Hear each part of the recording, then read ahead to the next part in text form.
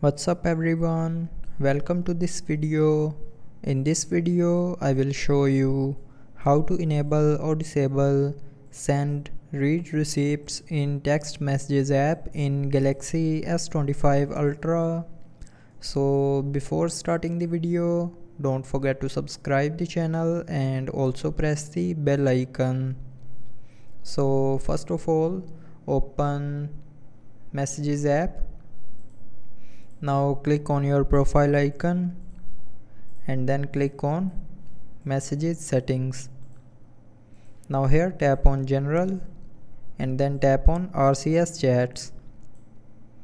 Now here in RCS chats you will see a send read receipts button. So if you want to enable the send read receipts then turn on this button and if you want to disable the send read receipts then tap on this button again to turn it back off. So with this button you can enable or disable send read receipts in text messages in galaxy s25 ultra. So i hope you liked the video. Thanks for watching